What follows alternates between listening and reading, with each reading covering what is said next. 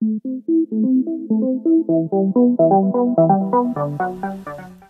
tout le monde, j'espère que vous allez bien. Aujourd'hui je vous retrouve dans une nouvelle vidéo où je vais vous donner mon avis sur un livre que je viens tout juste de terminer.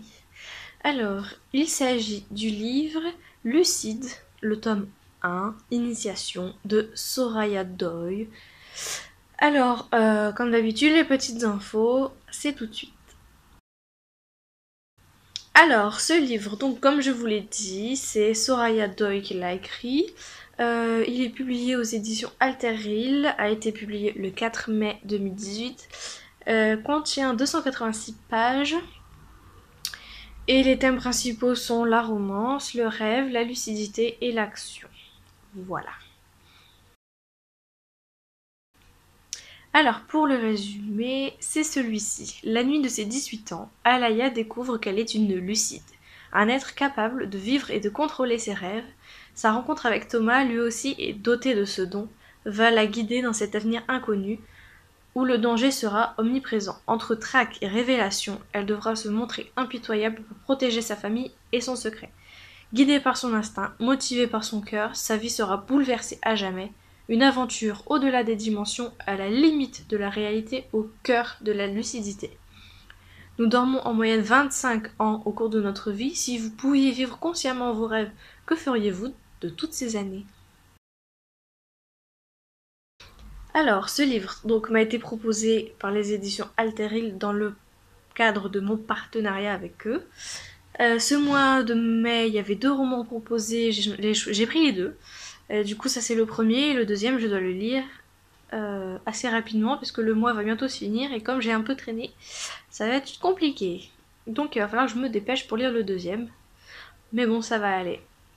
Alors pour ce roman, je vous préviens tout de suite, c'est un coup de cœur. Mais vraiment, j'ai vraiment aimé ce livre. En fait, non, je l'ai pas aimé, je l'ai adoré, c'est pas la même chose du tout. Donc, euh, l'univers, il est génial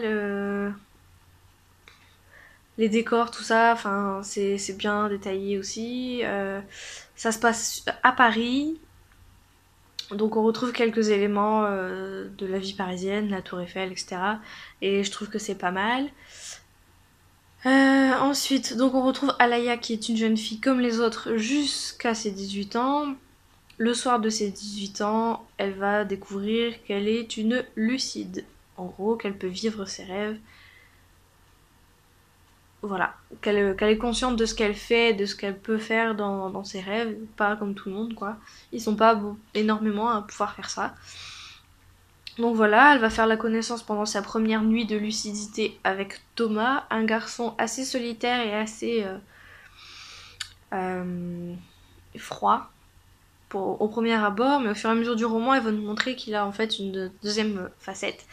Et ça, je trouve que c'est pas mal de découvrir qu'en fait Thomas c'est juste une carapace. Donc euh, voilà, il va montrer... Euh, non, c'est pas ça. Ensuite, on fait la connaissance des deux meilleurs amis. Euh, enfin non, plutôt ça c'est avant la rencontre avec Thomas, mais on fait la connaissance des deux meilleurs amis d'Alaïa, qui sont Maya et Ethan. Alors, euh, ils sont vraiment comme les doigts de la main. Ils se parlent euh, tout le temps. Dès qu'il y a un truc qui va pas, ils s'appellent. Et euh, sont très soudés.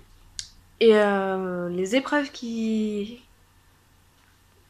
qui vont être au fur et à mesure du roman vont les rapprocher encore plus et vont être encore plus soudés qu'avant. Donc c'était vraiment pas mal. Euh, donc je m'arrête ici pour pas en dire plus, comme ça vous allez le découvrir par vous-même. Hop, je redescends un petit peu pour être sûr de tout dire. Voilà. Donc euh, le début de ce roman a été un petit peu, comment dire, calme. Euh, en même temps c'est normal, c'est le chat qui s'amuse encore à faire ses bêtises. C'est le début, donc il faut poser les bases, etc. Il faut expliquer un peu le contexte, etc.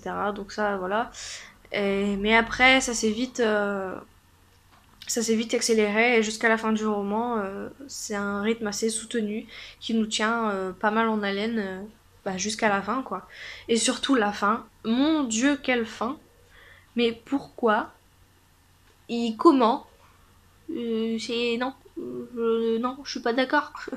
je veux la suite. Clairement, je veux la suite parce que j'ai vraiment Enfin, j'ai vraiment adoré ce livre, quoi.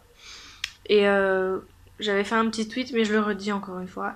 Merci à l'auteur pour ce moment magique que j'ai passé avec cette lecture. Donc voilà, euh, j'ai fini pour cet avis aujourd'hui. Je vous retrouve très vite dans une nouvelle vidéo, soit pour un avis littéraire, soit encore euh, une vidéo sur les Sims. Je ne sais pas, je vais voir ce que je monte en premier. Mais d'ici là, je vous fais d'énormes bisous. Et puis, bye bye.